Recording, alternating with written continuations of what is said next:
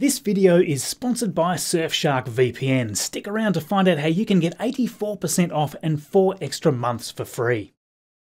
Hey, hey, Marcus House with you here, and what a jam packed episode we have for you this week. We catch up with the latest Starship developments, including another successful static fire test before the imminent 15 kilometre test flight of Starship serial number 8. That could be just days away now. We have some absolutely amazing footage here from Rocket Lab from their recent launch and first booster recovery. Also, two launches of the Falcon 9 this week, one of which was from the West Coast with the launch of the Sentinel 6 ocean mapping satellite, as well as the other from the east coast, which was another batch of 60 Starlink satellites. On top of all that, we have a quick catch up with the Perseverance rover as it traverses space on its way to Mars, and China launched its groundbreaking moon sample retrieval mission. Okay, Neil, Over to Starship news for the week, we have recent scheduled road closures that are indicating that SN8's historic 15 kilometre test flight could happen during the week beginning Monday, the 30th of November, with Monday's test window ranging from 7am to 6pm local time. As Elon has previously noted on Twitter, SpaceX intends to live stream the event, so keep an eye out there. Also scheduled this week was a static fire for SN8. After Monday's unknown cancellation of testing, Space SpaceX utilised the backup window on the 24th of November, successfully firing all three Raptor engines. This test utilised Raptor SN30, SN36, and SN42, and it's expected to be the final major test ahead of the highly ambitious 15 kilometre flight that will have the controlled belly flop return and potential landing back at the pad. Now, during that testing window, propellant load began at 5:01 p.m. with engine chill starting a couple of minutes later, denoted by those three triangular vents on the side of the vehicle. We then saw frost forming and venting at the tip of the nose cone, indicating that the oxygen header tank was also filled and pressurized. Then at 5:23 p.m., SpaceX successfully ignited what seemed to be all three Raptor engines for a duration of around 3 seconds. Now, it is unknown whether the static fire drew its propellant from the main tanks or the header tanks, all of which were filled and pressurized. Elon Musk commented on this test by tweeting that it was a good Starship SN8 static fire, and therefore the path is now cleared for SN8 to conduct a test flight to 15 kilometers as soon as November 30 next week. He then added that the goals for this flight are to test the three engine ascent, the body flaps, the transition from main to header tanks, as well as the landing flip. Now, all of these stages have never been tested at this scale at all, and therefore the chance of a rapid unscheduled disassembly is highly likely. Elon said there is a 1 in 3 chance of SN8 landing successfully after the flight. If things go wrong, that's why they have SN9 and SN10 as backups. Elon also confirmed that the 15 kilometer test flight will be using the main tanks only slightly filled. It is still presumed, however, that the header tanks will be required for the flip maneuver and landing burn.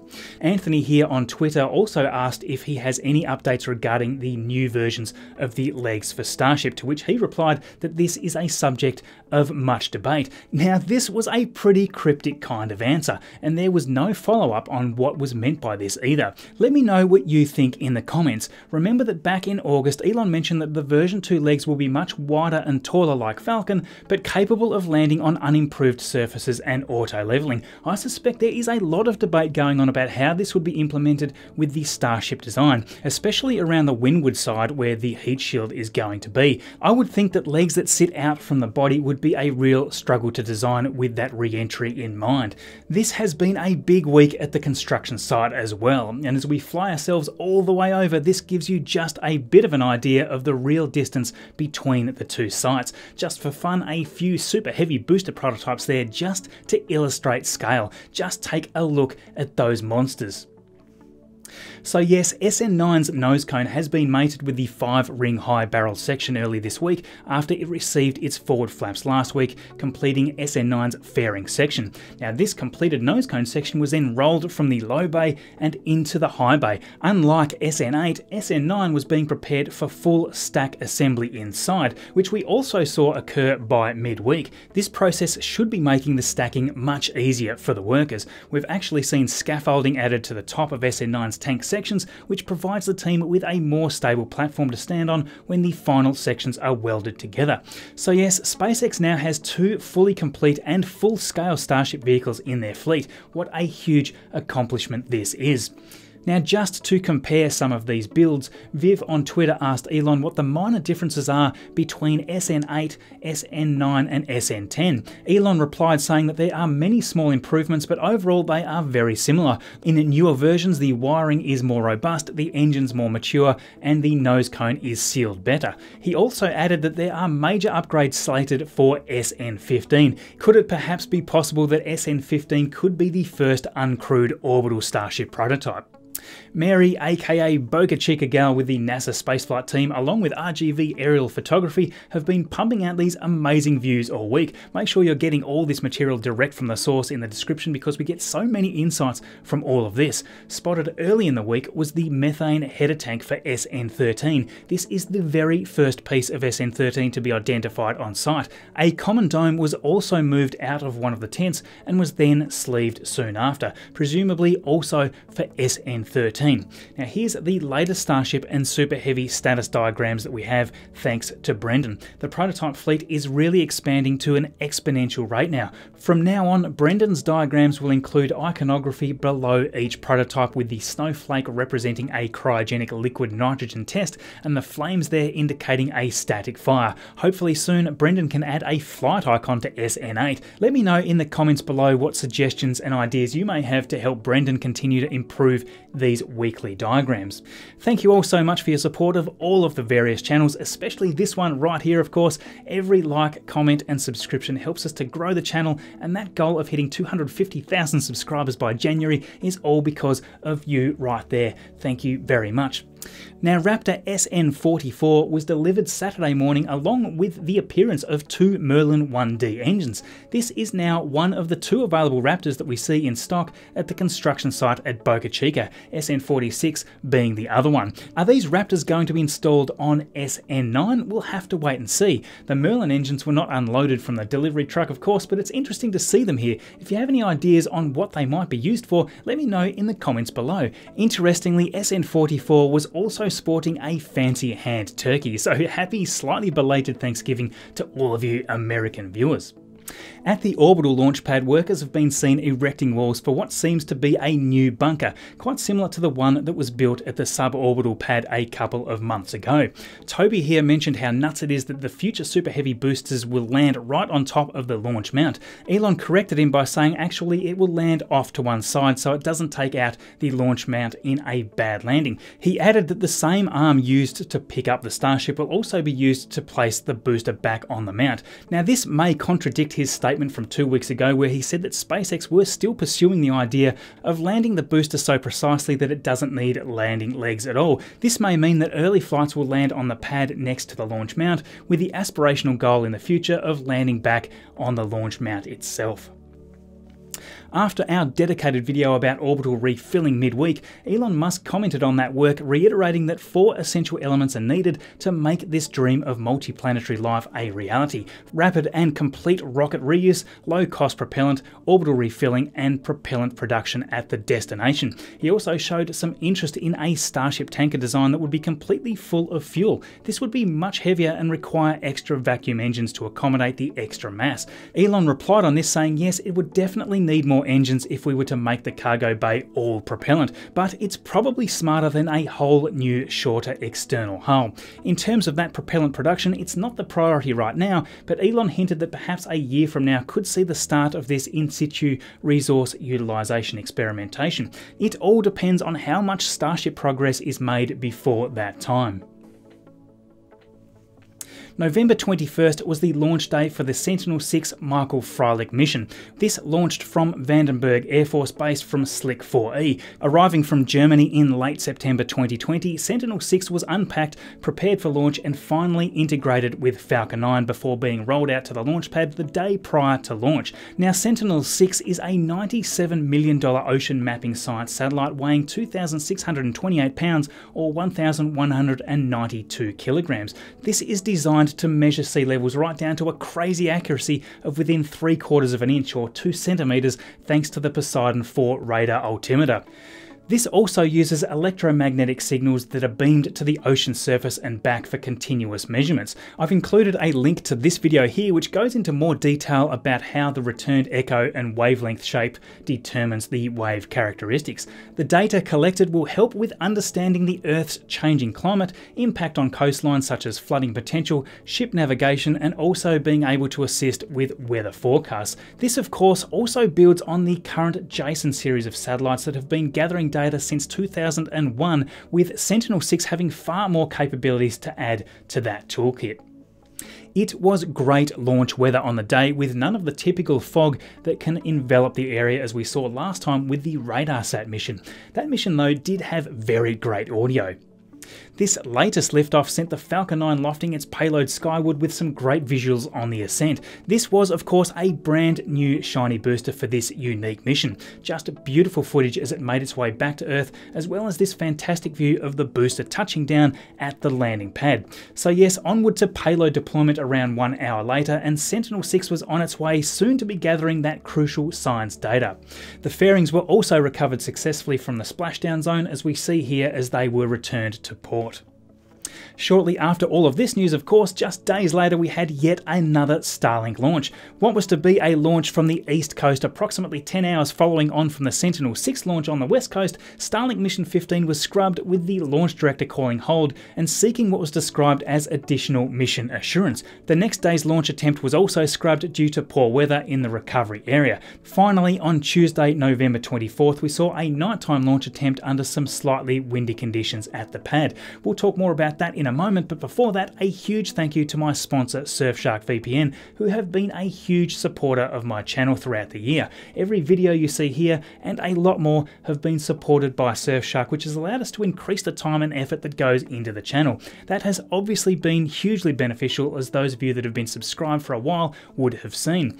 Now, a virtual private network or VPN allows you the potential to truly open up the internet. Have you exhausted content to stream from libraries within the country? Well, with Surfshark VPN, you can easily open up new content to explore from around the world previously restricted from you. Simply change which country you're accessing the internet from, and boom, you now appear to be browsing from that location and have access to brand new content to consume. This also allows access to social platforms and external news services that have perhaps been restricted from you. With your IP address, your behavior is tracked for marketing purposes all over the world. The internet should be open and log free, and by using Surfshark VPN, you can take control of your online security and visibility. You can protect yourself from data mining services, internet service providers, or perhaps even from those around you who may have very differing personal views or beliefs.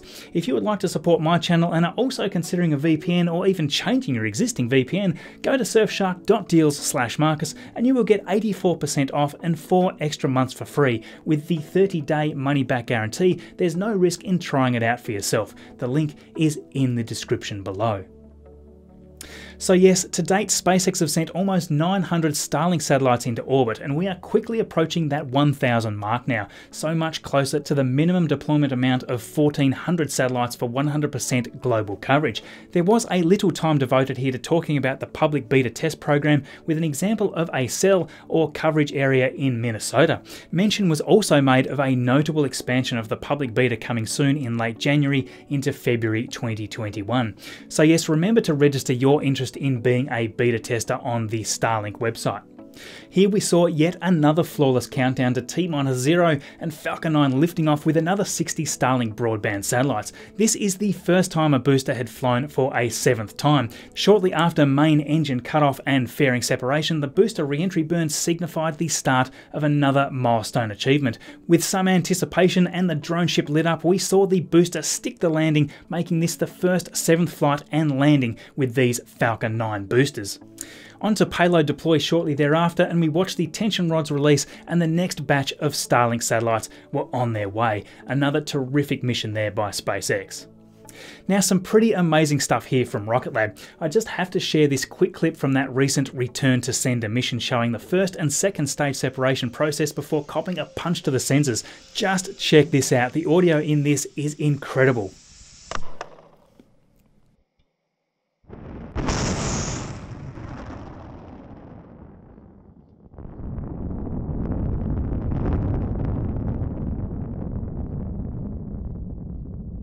Due to the awesome quality of this footage, we can only assume that cameras were retrieved from the booster itself after that successful recovery. This is really something to be proud of and well done to the amazing team at Rocket Lab.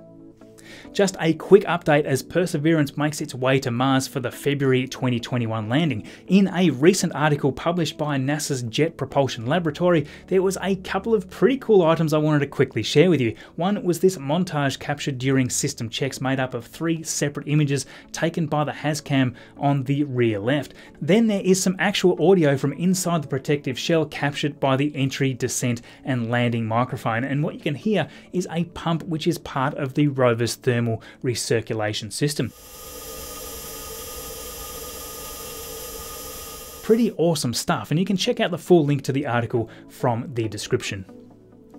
An interesting launch from China this week as well, with the awesome Moon Harvest mission that aims to send a lander to the Moon's surface, retrieve samples, and return them here to Earth. The mission contains the lunar orbiter, the lander, and a sample return system. This is something that hasn't really been attempted since the 1970s. If this mission is successful, it'll also make it the first mission for China to return Moon surface samples. That has only been done previously by the United States with the Apollo program, and of course the Soviet Union's uncrewed lunar missions. Now, one of the objectives is to collect unique samples obtained from the moon, which could help scientists understand which volcanoes were last active. That will make for some interesting analysis here on Earth. So yes, the launch itself was on China's Long March 5 rocket as we see here. The mission overall should be lasting around 23 days, so in a few weeks time we'll know if this has been a success or not. The announcement was made shortly after the spacecraft had successfully entered the designated orbit, and this was then followed by the deployment of its solar arrays. So yes, onwards now to the moon for the vessel, and as far as we know, the mission continues to go smoothly. We'll be reporting back when we know more about this groundbreaking mission for China. This incredible new space race that we find ourselves in continuously blows my mind. Now, this coming Tuesday, the 1st of December, is the very last day that you can sign up for the I Need More Moon project created by fellow YouTuber TJ Cooney of I Need More Space. If you haven't spotted this project yet, you are missing out because he is sending thousands of names on the Peregrine lunar lander that will be on board the first launch of United Launch Alliance's Vulcan rocket next year. Even more awesome, he is doing all of this for free, so don't miss your chance. You just need to head over to ineedmoremoon.com and fill in the form. As far as I understand, the first people registered get names engraved on a piece of silicate, with the remaining names hitching a ride on an SD card. So, yes, pretty awesome stuff there. The link to that is in the description below. A big thank you to my incredibly supportive patrons listed right there. Your support has helped me so much in creating more and better content. Each and every one of you makes a huge difference. The midweek video linked in the end screen just would not have been possible without all of you. Thank you, each and every one of you. If you would also like to help support so we can continue to create more content, head to patreon.com slash marcushouse. That gives you access to interact with me more directly via the included roles on our Discord server. You can also have earlier access to the videos to watch before anyone else. And of course, you can also have your names listed right here, like all of these other wonderful people. Also, huge thanks especially to Brendan, Adam, and Brenton assisting greatly with video production. That midweek video is a great example of teamwork there. Of course, the entire quality control squad here helps to correct our mistakes, so everyone here is involved in most of what you see. If you are interested in these topics and you'd like to be a part of this, consider maybe getting in touch with me on Twitter or Discord. In the tile in the bottom left today, we have my midweek video explaining the new funding provided to SpaceX